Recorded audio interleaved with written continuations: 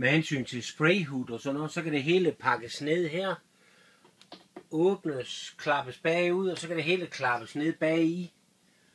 Og så, øh, ja, så har man jo så solbænken der, man kan, man kan ligge på.